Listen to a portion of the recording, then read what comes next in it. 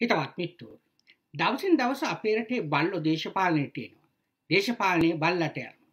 අපේ ගමේ ඉන්න බහුතරයක් දෙනා මේ නියෝජිත ප්‍රජාතන්ත්‍රවාදී හරියට තේරුම් අරක් නැහැ. හැම වෙලෙම තමන් වෙනුවෙන් හතරේ ගහලා පාර්ලිමේන්තුවට යවන්නේ ගමේ ඉන්න චණ්ඩි, එක්ක කුපාඩි, එක්කෝ හෙරෝයින් ගංජා විකුණනේව්. අවසානයේ උන් පාර්ලිමේන්තුවට පැමිණිලා ලබා ගන්න බලය යොදාගෙන මිනුන් කරගෙන යන්නේ ඒ මහා විනාශකාරී ව්‍යාපාර. ඔබ දන්නවා සාමාන්‍යයෙන් අපේ රටේ බහුතරයක් පාර්ලිමේන්තු මන්ත්‍රීවරුන්ට උපයාගත උපයාගත් මුදල් උපයාගත් ආකාර හෙළි නොකළ හැකි ආකාරයට එකතු කරගත්තු විශාල ප්‍රමාණයක් ඔවුන් සතුව තියෙනවා. ඒ නිසා තමයි බොහෝ වෙලාවට ආණ්ඩු පෙරලියත් සමගම බොහෝ දෙනෙක් කළු සල්ලි ගැන කතා කරන්නේ. හැබැයි අපි දැන් දශක කිහිපයක් දැක්කා පරණ හොරුන්ට අලුත් මන්ත්‍රීවරු දඩුවම් කරන්නේත් නැහැ.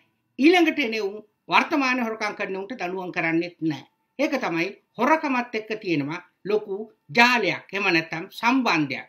රොෂාන් රණසිංහගේ කියන්නේ නැත රොෂාන් රණසිංහ කියල කියන්නේ හොළන්නරුවේ ඉන්න මන්ත්‍රීවරේ මන්ද රාජපක්ෂ සමග එකුතුවල දේශප්‍රේමී ආණ්ඩුවක් හදන්න හදන පුද්ගලයෙක්. මේ පුද්ගලයා කලක සිටන් හෙරෝයින් බිස්නස් එක කරගෙන ගිය. මේක බොහොම කූට විදිහට කරගෙන ගියා.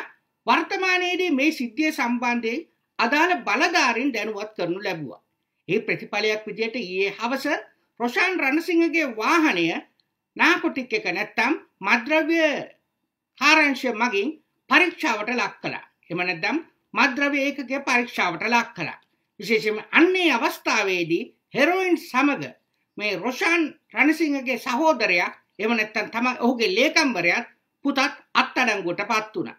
මිත්‍රවරුනි මේ තිබෙන ස්වශේෂීය කාරණය තමයි මොවුන් මේ රොෂාන් රණසිංහ මද්‍රව්‍ය අලිවි කරන්නේ බොහෝ වෙලාවට පොළොන්නරු ඉන්න අහිංසක දරුවන්ට. ඊයේදිනේදී මොවුන් අත්අඩංගුවට පත් වෙන්නේ නාකොටික් එක රුෂාන්ට කතා කරලා මද්‍රව්‍ය ඉල්ලනවා. ඒ වෙලාවේ එහෙම විකුණන්න ගිය අවස්ථාවේදී තමයි රුෂාන්ගේ සහෝදරයා එවැගේම ඔහුගේ දරුවත් අත්අඩංගුවට පත් වෙන්නේ. මීට අමතරව ටොපිය කියලා අන්වර්ථ නාමයකින් හඳුන්වන පුද්ගලයෙකුත් අත්අඩංගුවට පත් වෙලා තිබෙනවා.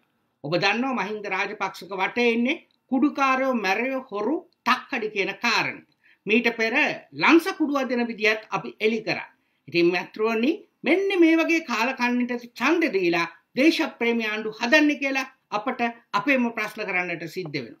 ඒ නිසා රටේ නීතිය බල්ලට දාලා තමන්ගේ බඩගෝස්තරය වෙනුවෙන් ඕනම පාදට වැඩක් කරන මෙවැනි තිරසනුම් දේශපාලනයෙන් පළවා හැරලා රටට සැබෑ ලෙස මාදරය කරන දැක්මක් ඇති පුද්ගලයයි අපේ රටේ පාලකයන් බවට පත් කර ගනි. මිට්‍රෝනි අරගලෙන් තුර ජයග්‍රහණ කමතු බවට සීපත් කරමින් මාව බින් සමුගන්. ඔබ සැමට ජය